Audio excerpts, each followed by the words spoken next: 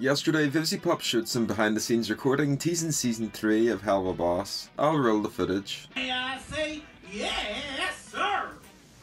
I said I say yes, sir. What the hell? I think one of I think one of the I think one of the tracks not muted.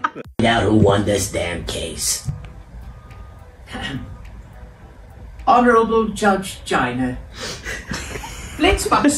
So the first thing is Wally Wackford will return with voiced lines. Next, we'll get some sort of court case episode with Blitz and Stolas, so perhaps this is over the custody of Octavia. Vivzie also revealed that Harvey Guillen will voice an upcoming character in the show. Harvey is a well-known actor who you'll probably recognise as the voice of Perrito in Puss in Boots. Fans speculated that he'll be voicing an Ars Goetia bird character, and VivziePop liked a tweet which hints at this being the case.